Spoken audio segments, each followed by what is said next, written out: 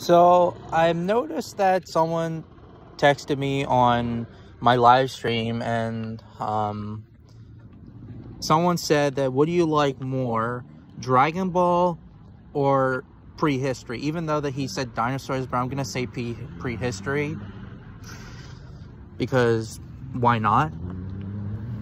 Or in this case, paleontology. Honestly, it depends on the mood I like. You know, I can't decide really because with with paleontology, like with you know like paleo stuff like dinosaurs and mammals and shit like that. I've been a fan since I was a little kid. I mean, for God's sakes, I was also into wildlife, which I'm still am. You know, modern wild wildlife, and that will be a discussion for another time.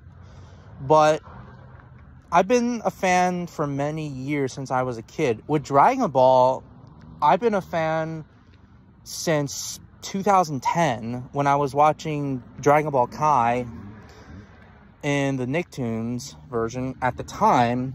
And then later on, watching Dragon Ball Z Kai uncut on YouTube, watching uh, Dragon Ball Z, Dragon Ball GT, Dragon OG Dragon Ball, etc. So it really depends, really, what I am a mood for.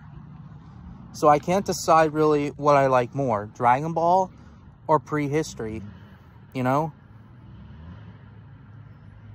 That's the answer. You know?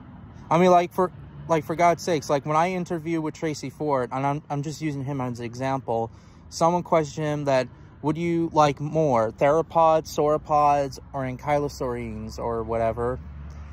And Ford said, well, it depends on his mood. Well, it's like the same thing with me. You know, I can't decide really what I like more, Dragon Ball or prehistory. There you go. Yeah.